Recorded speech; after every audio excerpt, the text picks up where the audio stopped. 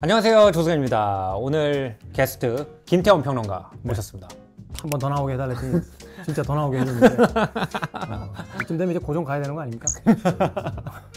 세대차를 가장 극명하게 보여주는 것 중에 하나가 음악 취향이 아닐까 생각이 돼요 우리나라 같은 경우에는 워낙 시대에 앞서는 걸 중요시하는 문화다 보니까 최대한 그래도 젊은 세대들이 듣는 음악을 알고 노력하려고 하는 그런 문화가 있지만 미국이나 유럽 같은 데서 저랑 같이 공부하던 친구들 보면은 진짜 우리가 젊어서 듣던 음악밖에 안 듣더라고요 음. 그러니까 아직도 이제 플레이리스트 보면은 콜드플레이, 뭐 라디오헤드, 본조비 후반기 야 우리 BTS 한번 틀어볼까? 라고 얘기를 하면은 야 그거는 우리 조카가 듣는 거지 하면서 이제 선을 딱 긋더라고요 그럼 이제 제 주변에서도 이 젊은 세대들 음악 막 노래방 가서 연습하고 이런 친구들이 있어요. 이런 거 알아야 된다는 거야. 음. 근데 이제 젊은 세대들하고 이제 패식 같은 거 할 때 이런 거 불러야 된다는 거야. 음. 나는 걔들하고 놀고 싶은 생각이 별로 없어.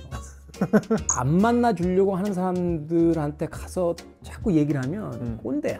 근데 이제 내가 멋있게 놀고 있으면 옆 사람이 이렇게 엿볼 거 아니에요. 야, 저 사람 멋있게 노는데? 이렇게 찾아오잖아. 음. 그러면 멘토란 말이야. 그 사실은 사람은 똑같은 사람인데 네. 먼저 가면 이제 꼰대가 되는 거고 사람들이 찾아오면 멘토가 되는 거지. 그러니까 나는 이제 멘토가 되고 싶단 말이에요. 네. 근데 찾아오진 않아.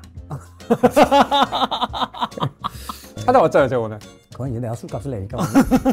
근데 이제 시기별 시대별 문화라는 건 어떤 느낌이냐면 어떤 세대가 음. 우리끼리만 놀래요 하는 암호 같은 거예요. 음. 뭐 말주림도 만들고 뭐 새로운 어떤 신조어도 만들잖아요. 음. 최근에 이제 제 또래 사람들이 뭐 아, 요새 친구들 신조어 너무 많이 만들고 뭐 단축어 만들고 막 우리 때도 다 했어. 네. 그러니까 자기들 젊을 때 다 잊어버리고 음. 자꾸 젊은 세대들 가지고 뭐라 그러는데 어떤 시대에나 다 있단 말이에요. 우리 때 뭐 옥덜매 무슨 뭐 골 때린다 뭐 내가 생각할 땐또 이런 부분도 있는 것 같아요 그러니까 우리가 10대 20대 때 했던 경험은 실제 경험의 충격도가 어른이 돼서 하는 경험보다 적을지라도 그때 감수성이 예민하기 때문에 엄청 큰 일처럼 다가오는 일들이 굉장히 많잖아요 음. 뭐 입시 때 들었던 노래, 군 입대할 때 들었던 노래, 막 이런 노래들은 굉장히 깊숙깊숙하게 다가오는 것 같고, 그 시기하고 맞물리는 음악은 그 시기에 대한 자기만의 사운드 트랙이 되는 거죠. 그러니까 저도 사실은 고2 때 사랑했던 여자가 있어요. 그러니까 이제 그때 그 여자에게 상처받고서 들었던 이문세의 소녀 이런 거는 거의 40년 동안 들어요. 지금도 들으면 눈물이 난다고. 어. 그때 생각하니까 내 순수했던 그 시절. CD를 가지고 있는 게 한참 많을 때 한 2만 장 있었는데 지금은 와우. 5, 6천 장? 나도 이제 카페 사장이 빌려달라고 해서 줬더니 망하면서 내 판까지 가지고 사라지고 뭐 그래도 어찌됐건 그래도 끝까지 못 버리게 되는 몇 장들이 있어요. 근데 그게 바로 이제 내 드라마를 가진 음악들. 음. 네, 그런 것들은 명반이라고 부를 수도 없고 어떻게 보면 뭐 음악사적으로 그렇게 중요한 음반도 아닌데 음. 그런 음반들은 늘 오히려 음. 갖고 있게 되는 뭐 그런 경험들이죠. 근데 왜 1950년대가 돼야 이제 청춘 문화라는 게 비로소 태동이 된다라고 이제 이야기를 하냐면 미국이 이제 2차 세계대전에 이제 참전을 하면서 이제 군수물자들을 생산하는 공장들이 굉장히 많았겠죠. 이게 전쟁이 끝나고 이제 생필품을 만드는 공장으로 이제 전환되는 과정 속에서 엄마 아빠들이 공장에 다 가야 된단 말이야. 음. 공교육이라는 게 뭐의 필요성에서 시작이 되냐면 엄마 아빠 일할 동안 애들 맡아주는 기관이란 말이야. 음. 그 전까지 학교 가는 애들이 뭐 동네 몇 명이나 있었겠어. 그렇죠. 근데 이제 네. 50년대가 되면서 애들이 막 학교로 가는데 옛날엔 동네에서 엄마 아빠랑 간에 수공하거나 아니면 동네 형들 누나들하고 좀 놀던 애들이 음. 어느 날 학교라는 데 가라고 해서 갔는데 자기 또래 애들이 수천 명이 있는 거야. 아, 진짜 충격적이었겠다. 놀랍잖아. 그러니까 어떤 일이 벌어져? 그 안에서 자기들의 관심사, 좋아하는 게 생기면서 공교육의 대중화하고 청년 문화의 탄생이 50년대 이제 맞물리게 된 맞물리게. 됐다는 거예요. 네. 1950년대가 어떤 시대냐면 가장 강력한 꼰대들의 시대예요. 제일 강력한 꼰대가 누구냐면 자수성가한 꼰대. 아무 얘기를 안 들어 남의 얘기. 그리고 다 자기 성공한 얘기만 하는 거야. 나중에 애 낳으면 조심해야 돼. 자수성가 했기 때문에. 네. 다음 생에 조수현의 아들로 태어나고 싶지 않아.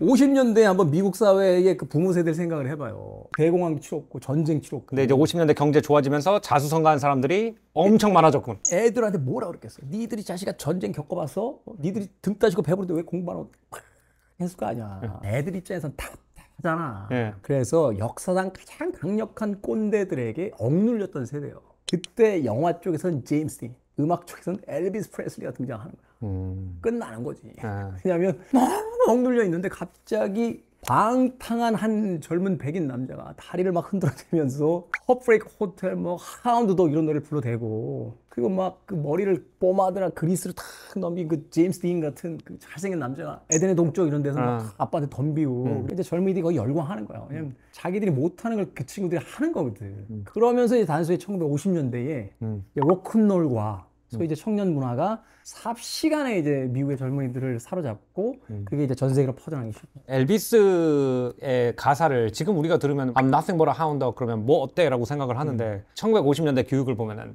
네가 짐승이야? 인간다워야지 막 이런 윤리관을 가지고 있는 데서 나는 개야! 라고 소리치는 그 음악을 들었을 때 그 문화적 충격은 정말 그게 이제 당시에는 되게 성적인 느낌이었대요. 이제 하체를 흔든다는 것 자체가. 그래가지고 TV에 나오면 카메라를 상체에다 막 고정을 했다고 합니다. 안 보이다, 안 보여주고. 이제 엘비스 이전에 사실은 이제 이 로큰롤 음악의 위대한 그 선각자들이 있죠. 빌 헤일리라든지 뭐 척베리 같은. 그 이제 뮤지션들의 이제 했던 음악들을 당시 어떤 그 유행어 같은 이야기 중에 흑인의 목소리를 가진 잘생긴 백인 청년 하나만 있으면 단숨에 시장을 장악할 수 있다. 그러니까 음악적으로는 흑인 음악과 백인의 어떤 컨트리 음악하고 비슷한 음악이 섞여 들어갔던 이 로커빌리 사운드가 이제 굉장히 많은 인기를 얻었는데 당시까지도 미국은 흑백의 인종차별이 심했고 백인 중산층 소녀들의 어떤 성적 대상으로서 흑인이 있다는 건 말이 안 되는 거였어요. 그러니까 사실은 폭발력 있는 음악이 있었음에도 불구하고 이게 터지질 않는 거야. 근데 이걸 제대로 터트리려면 너무나 선망하는 잘생긴 백인 청년 한 명이 있어야 되는데 이때 등장한 게 바로 이제 엘비스 프레슬리. 너무 잘생기고 너무 노래 좋고 근데 그 음악적 스타일은 흑인 음악 스타일이고 그런 로큰롤이 이제 출범을 하면서 전 세계 휩쓸죠. 근데 흥미로운 건 로큰롤 음악 하면 이제 우리가 그러니까 저항의 음악, 반항의 음악 이렇게 부른단 말이에요. 록 음악의 대부분의 가사는 그냥 남자가 여자를 만났네, 에, 에, 둘이 사랑을 했다네, 뭐 이런 얘기예요. 그리고 음악 자체도 이게 대부분 댄스 음악이거든요. 근데 이게 왜 저항이고 반항이냐? 부모가 못 듣게 했거든. 아하 좋은데 못 듣게 하니까 음. 몰래 듣잖아. 네. 몰래 듣다가 걸리면 너 왜 반항해? 그런데 계속 난 몰래 들을래. 그러면 저항이 되는 거야. 그러니까 아, 그 음악 자체가 저항의 메시지가 저항인 있는 게 아니야. 아니고 그러니까 못 듣게 하는 걸 듣는 바람에 반항이 됐고 나는 반항을 계속 할 거야 하는 바람에 저항이 된 거야. 그 당시 10대들 입장에선 놀고 싶고 저녁에 내가 사랑하는 여고생 집에 앞에 가서 좀 얘기도 나누고 싶고 그걸 못 하게 하니까 참 빡친 거지. 아무튼 이제 그러면서 이제 50년대 청춘 문화가 로큰롤과 함께 맞물리면서 이제 전 세계로 이제 퍼져나가요. Hey Jude. 50년대 이제 60년대로 넘어가요. 제일 중요한 건 엘비스가 변절했다는 거야. 이게 워낙 이 파격적인 메시지를 가졌던 아티스트니까 이제 기성세대가 계속 주시하고 있었거든. 톰 파커라고 하는 그 매니저가 영화에도 나오는데 아 이거 가만히 있다가는 이 친구가 기성세대들한테 찍혀가지고 방송 정지 먹고 뭐 이렇게 출연 정지 먹고 뭐 이럴 것 같거든. 그러니까 군대를 보내요. 군대라는 데가 뭐예요? 이제 가장 보수적 사고가 있는 공간이잖아요. 톰 파커가 군대에 있는 2년 동안 사진을 엄청나게 배포하는데 엘비스 프레스가 활동했을 때보다 사진을 더 많이 뿌린 거야. 기성세대에게 메시지를 준 거예요. 엘비스 아, 그런 친구 아니에요. 착한 친구예요. 봐요. 군 생활 얼마나 열심히 하고 있어요. 음. 그러니까 이제 제대하고 왔을 때 엘비스에게 열광했던 10대들은 배신감을 느끼지. 아 60년대로 넘어가게 되는데 영국에서 엘비스의 음악을 듣고 자랐던 네 명의 청년이 오죠. 64년도에 에드 설리번 쇼에 이제 출연하기 위해서 왔던 게 비틀즈의 이제 첫 미국 나들이가 있는데 제 1차 British Invasion이라고 그래요. 1차 영국 침공이다. 음. 비틀즈가 도착하고 이제 롤링 스톤스 같은 팀들이 들어오면서 단숨에 이제 미국의 60년대를 영국산 밴드들이 이제 장악하기 시작해요. 음. 그러면서 여러 가지 로큰롤의 어떤 갈래들이 생기죠. 다른 장르의 음악들 또는 사운드적인 실험을 하는 Pet Sounds 같은 음반을 발표했던 비치 보이스의 어떤 활, 활동도 있고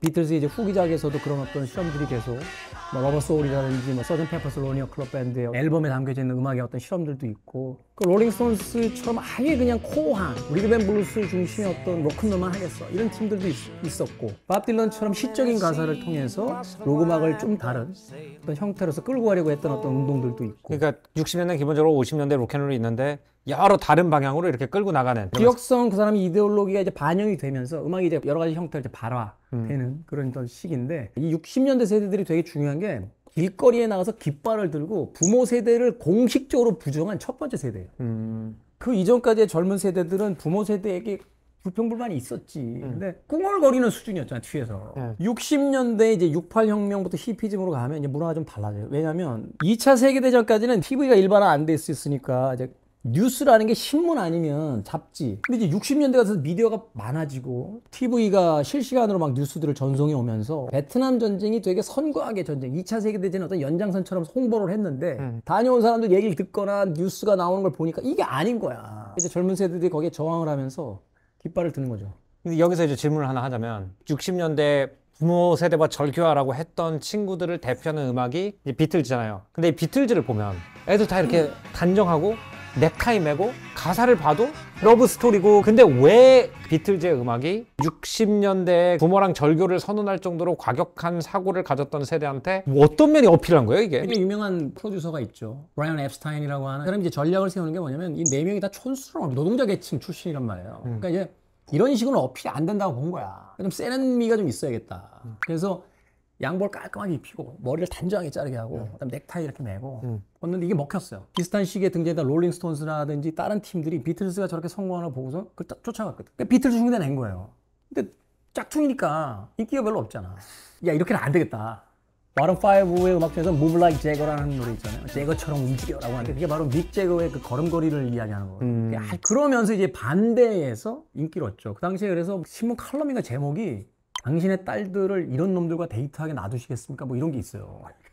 가장 인기 있는 남자들이 어떤 남자예요? 엄마가 싫어하는 남자. 미치거든 또 이게 10대 때는 이런 것들이 이제 합쳐지다가 69년도에 이제 마지막으로 터지는 게 바로 우드스탁 페스티벌이라고 국가라는 거 national anthem이라는 건 아주 경건하게 부르는 거잖아요 근데 지미 헨드릭스가 전자기타를 들고 나가지고 막 국가를 가지고 막 장난을 엄청 삐용삐용 막 이러면서 어? 충격을 받은 거야 이 뭐야 이게 막 근데 그게 69년도에 미국 젊은이들의 일종의 선언 같은 거야. 당신들이 얘기하는 그 엄격한 그런 거 틀에서 벗어나서 우리는 자유롭게 우리의 새로운 어떤 국가를 정의하겠다라는 게 바로 그 우드스탁 페스티벌에서의 지미 헨드릭스의 바로 그 Star-Spangled Banner 연주가 이제 상징적으로 보여주죠.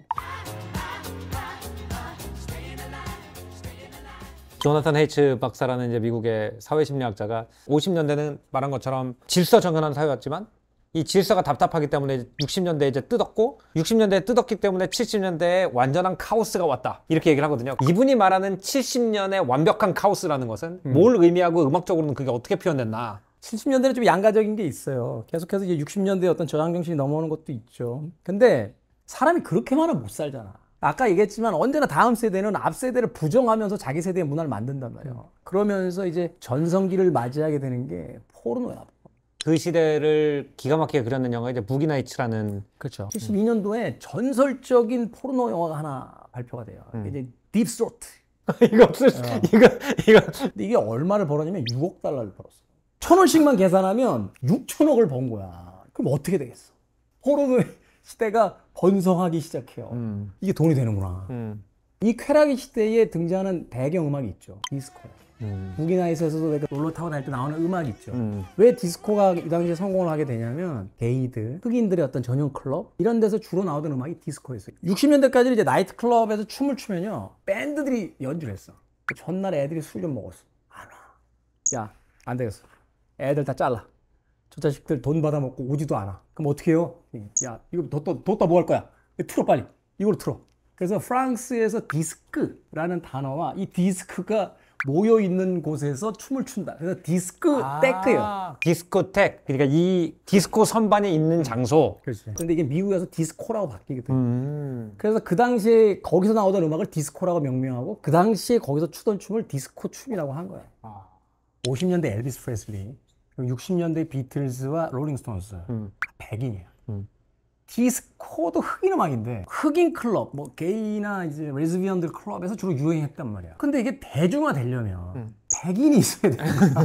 미국 문화는 역시 어쩔 수 없이 백인이 있어야 되는 거야. 이게 주류의 문화가 되려면. 이게 77년도에 이제 Saturday Night Fever라는 영화가 이제 개봉을 하게 되는데 이게 이제 폭발적인 이제 히트를 기록하죠. 존 트라볼타가 그렇죠. 이렇게 하고 있는 그 포스터가 이제 그 시대의 어떤 대명사처럼 되면서 그 패션과 디스코테크에서 어떤 춤과 네, 그 음악하고 이제 맞물리면서 70년대 디스코 이제 폭발하죠. 근데 이제 그 상징적인 사건이 있어요. 스티브 달이라는 시카고 지역의 DJ가 있는데 자기 이제 록 중심 DJ인데 자꾸 디스코만 프로그램이 생기고 신청곡 이런 게 짜증이 난 거야. 지역의 그 프로야구 팀이 있어요. 시카고 화이트삭스. 일종의 이벤트 제안을 해요. 집에서 안 듣는 디스코 음반이 있으면 가지고 와라.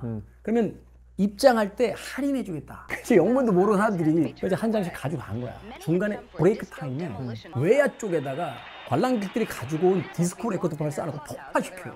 현수막을 걸고 disco sucks 이렇게 와 진짜 과격했다 그때 일종의 폭동화 돼서 구장이 박살이 나 박살이. 그러면서 이 사건이 많이 알려지게 되잖아. 예. 당시 이제 디스코 음악을 했던 사람들이 위축되고 음. 어쨌든 그게 아주 유명한 사건이에요. 음. 디스코 폭파의 밤이라고. 음. 분석행위 이후 이런 사건은 없었죠.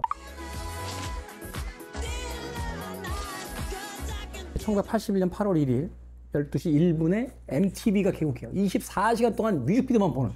당시 이제 MTV가 개국을 할 수 있었던 이유가 이 뮤직비디오들을 통해서 홍보 활동을 하는 팀이 자꾸 늘어나고 있었어요. 그리고 79년도에 소니의 모리타 아키오라는 회장이 뭘 하나 만들어요.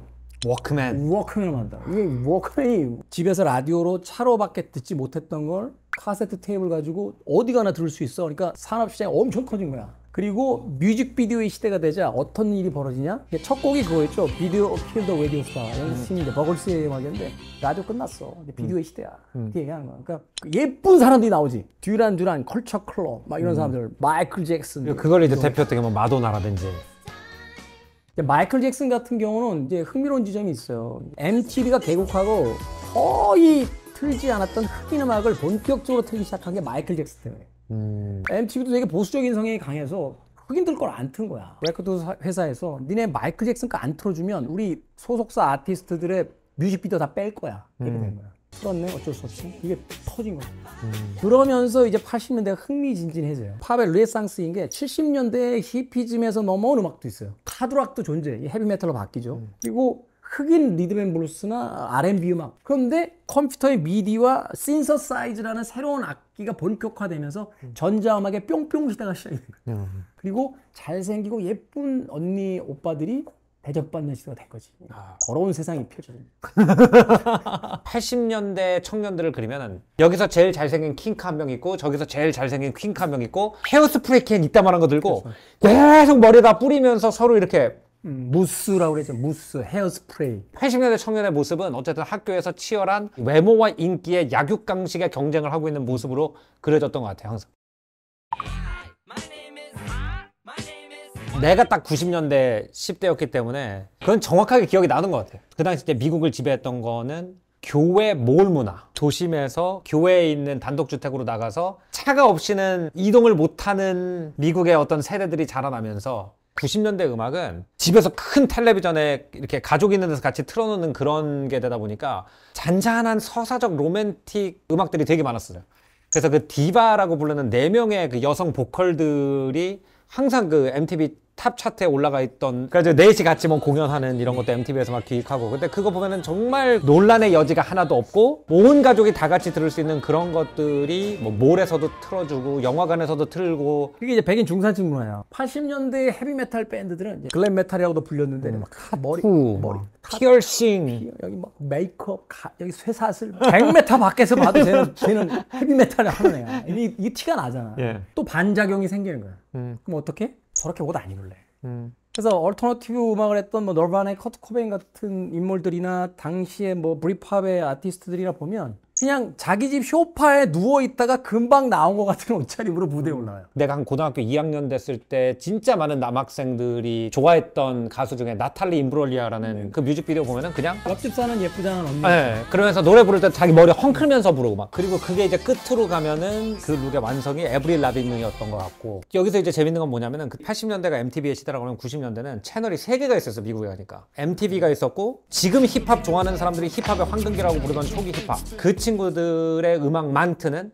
BET Black Entertainment Television이라는 채널이 따로 있었고 그리고 약간은 70년대 락 정서를 가지고 있는 그런 음악이 좋아 그럼 VH1이라는 채널을 봤었거든요 이때 이제 제일 중요한 게 또 하나가 문제가 뭐냐면 힙합이 대중화가 아직 안 되고 있다는 거죠. 뭐 닥터 드레라든지 뭐 스눕 도기 독이 굉장히 인기를 모았지만 이게 폭발하진 않았거든. 이 폭발력을 다시 발휘한 게 뭐냐면 결국은 또 백인 청년인 에미넴이에요. 그러면서 이제 에미넴이 새로운 엘비스 프레슬리로 등장하죠. 그래서 굉장히 멜로디컬한 힙합을 선보이기 시작하면서 백인 소년 소녀들을 이 씬에 끌어들여요. 그러면서 이게 힙합이 오늘날 대중화되는데 가장 큰 영향을 미치게 되는데 이 힙합 음악이 얼마나 서글픈 음악이냐면 너무 일찍 어린 나이에 부모로부터 소외되고 가난 속에서 자신의 신체에 맞는 옷조차 할 수 없고 자기 개인 공간이 없잖아. 그래서 여기다 헤드폰을 쓰고 후드를 뒤집어 써서 자기 공간을 갖고자 하는 이런 이제 문화들이 이제 90년대 힙합에서 대중화되기 시작하죠. 20세기의 음악은 사실 그래서 이제 흑인 음악에서 흑인 음악으로 끝나게 되는데 록 음악이라고 하는 그 소위 이제 기성세대로부터 분리되고자 했던 젊은이들의 음악에서 기성세대들에게 소외됐던 젊은이들의 음악으로 마무리가 되는 뭐 그런 단계로 가는 거예요. 그렇게 보면은 20세기가 그렇게 아름답지가 않게 느껴지기도 하네요. 어우, 난 다시 한다. 나는 BTS가 제일 좋아. BTS의 다이너마이트 같은 곡은 디스코예요. 그러니까 이제 이게 하늘 아래 새로운 것은 없다고 이제 과거의 음악에서 다시 영감을 받고 이 LP들이 있지만 다시 지금 젊은 세대들이 LP를 듣잖아요. 음. 사실 이제 뉴트로라고 부르는데 젊은 세대들에게 이 LP라는 건 한 번도 본 적이 없는 물건이거든. 음. 그러니까 이건 새로운 거지. new란 말이에요. 우리에겐 이게 레트로지만. 음. 그러니까 사실은 유행이 돈다라고 얘기하는데 흥미로운 것은 똑같진 않아요. 저희도 70년대, 80년대 소위 bootcut이라고 하는 나팔바지라고 하는 바지를 입었었던 세대들이 있는데 지금도 다시 보면 그 wide pants와 또 이 부츠컷이 다시 유행을 한단 말이에요. 근데 70년대에 입었던 bootcut하고 지금 bootcut은 묘하게 틀이 달라요. 그러니까 분명히 같은 그 유행이 돌아오지만 그 유행은 그 시대에 맞게 다시 이제 변형된다. 음. 이렇게 본다라면 20세기의 가장 중심적인 어떤 대중음악의 역사를 이렇게 보면 음. 앞으로의 음악의 발전 방향이 어떤 방식으로 갈 거다. 그러니까 2020년대 음악이 사실은 조금 이제 경쾌하고 굉장히 인생의 어떤 밝은 면을 이야기하는 쪽으로 가고 있잖아요. 음. 사실 세계 경제라든지 여러 가지 어떤 환경 문제, 뭐 여기저기 전쟁 문제를 본다라면 30년대로 넘어가는 새로운 세대 출현의 시대에는 또 다시 메시지를 담는 음악들 음. 또는 좀 더 어두운 세계관을 이야기하는 음악들 이런 것들이 또 등장할 수 있는 여지도 있지 않냐 예상을 해보는 거예요. 음. 물론 나는 상관없어. 그때까지 내가 뭐 사고 하진 않았어. 여러분이 평소에 음악의 트렌드 아니면 좋아하는 음악의 뒷이야기 궁금한 거 있으면 댓글로 달아주시면은 제가 우리 태훈이 형을 다시 한번 초청해서 여러 다해 풀해 다해 김태훈이라고 아, 호를 지으셨어요? 뭐 여러 가지 문제 다 해결하니까 꼭 음악 문제가 아니더라도 댓글로 달아주시면 다시 한번 모셔서 얘기 나눠보도록 하겠습니다. 아예 김태훈 선생님 감사하고요. 다음에는 더 재밌는 문화 역사 이야기로 여러분 찾아뵙겠습니다. 안녕히 계십시오. 고맙습니다.